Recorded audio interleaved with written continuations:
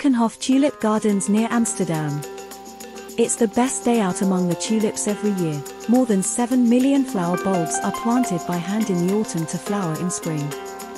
There is a variety of 800 different tulips. A unique and unforgettable experience for everyone.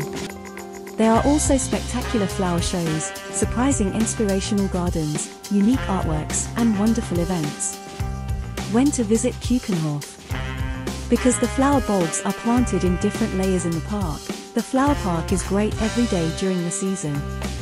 In 2024, the season starts on the 21st of March and the last day is the 12th of May.